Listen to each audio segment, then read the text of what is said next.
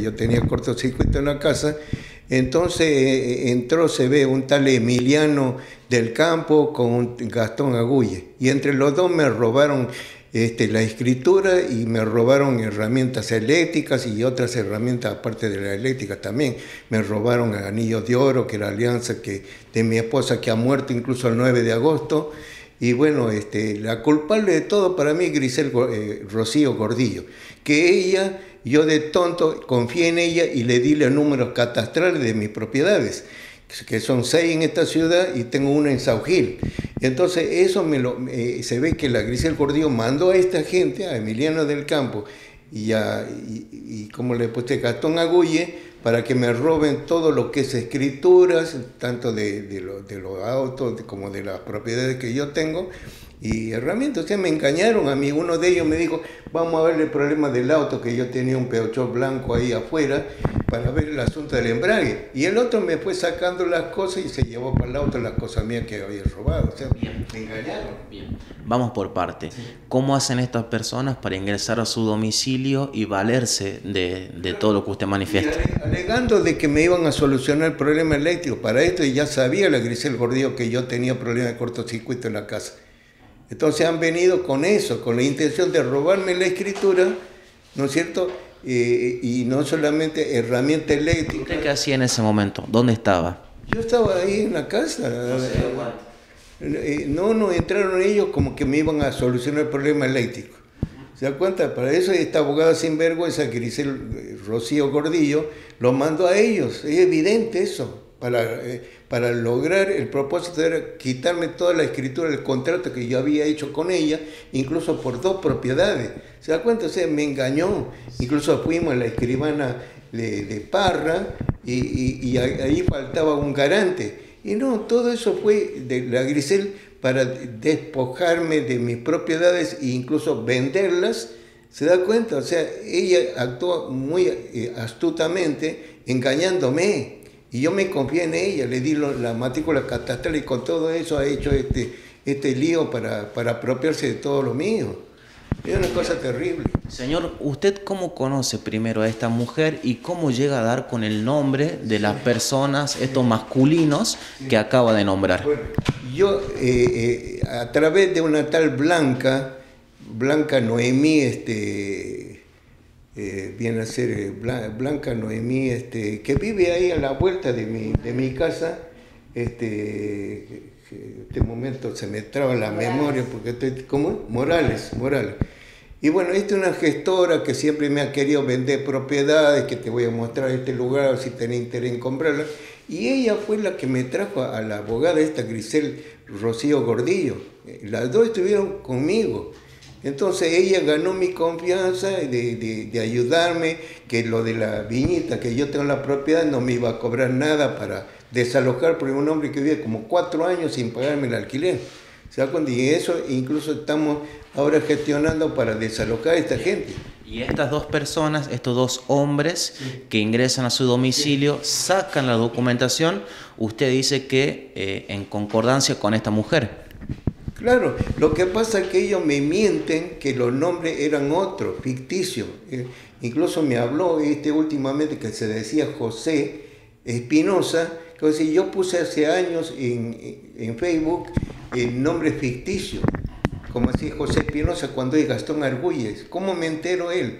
A través de un celular que me lo quería vender cuatro mil pesos, bueno, se lo dejó tres mil al final se lo regalo porque me robó cuantas cosas mucho más valiosas que, que, eso. Y entonces yo me entero a través que había quedado ahí el, dato de él, como decir, eh, a, Gastón, 19gmail.com.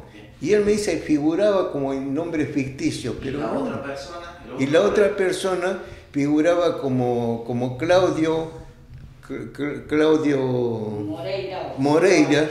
pero no, según hemos visto por el celular, por el celular de mi abogado, que es él, me, este, dijo, no, se ve que es Emiliano, porque es un tipo alto, casi dos metros de altura, y para mí se ve que es cara de, Emiliano del campo, y no es como yo pensaba, Claudio Moreira. Estas personas claramente lo han estafado. Me han estafado, me han es evidente eso, eso no hay lugar a duda, me han estafado, me han engañado, pero todo, la causa empezó con la abogada sinvergüenza.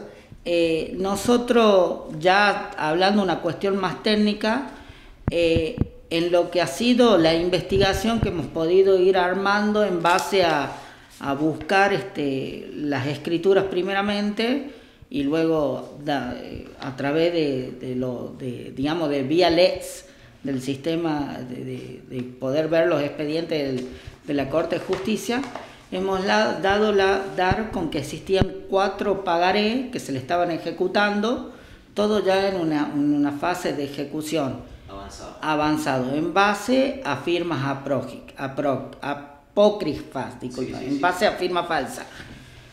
Pero esta situación no terminó en esto, sino que en la búsqueda de, los, de las copias de los títulos de las propiedades del doctor, hemos logrado dar con una escritura de poder trucha realizada en la escribanía broncal de Castillo.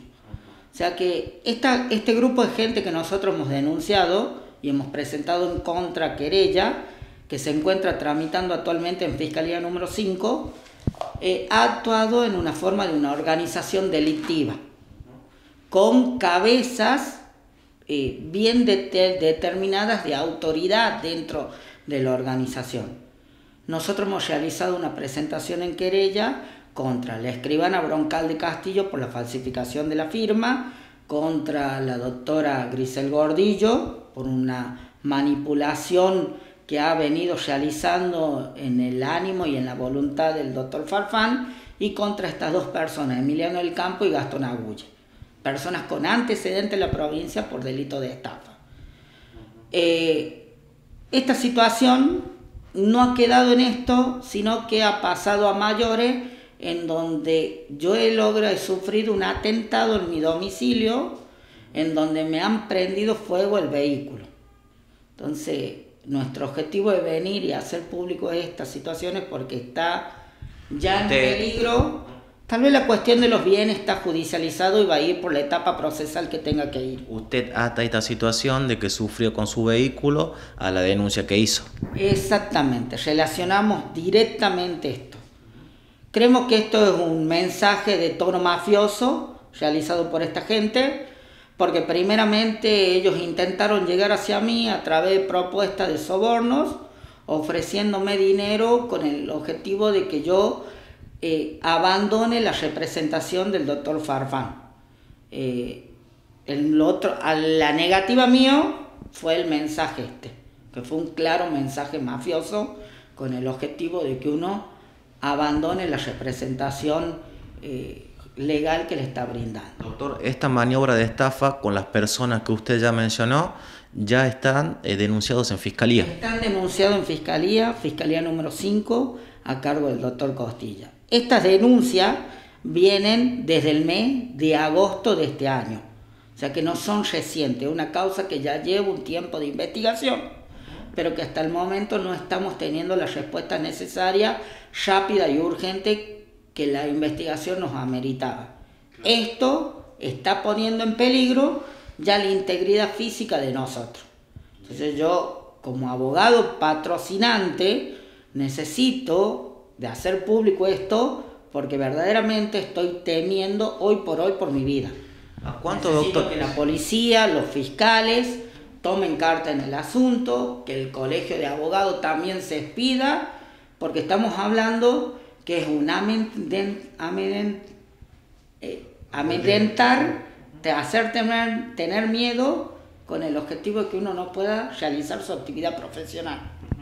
Doctor, además de estos pagaré, eh, ¿cuál es el daño económico contra su defendido? Actualmente no sabemos la magnitud del daño económico porque estamos hablando de que se logró falsificar una firma en una escribanía, que la escribana se ha prestado a esta situación ilegal no sabemos la magnitud del daño económico que hoy por hoy estamos hablando. Vamos descubriendo un intento de despojo parcial de sus propiedades, pero no sabemos si acá está apareciendo otro instrumento que luego pretendan hacer valer después de la muerte de él.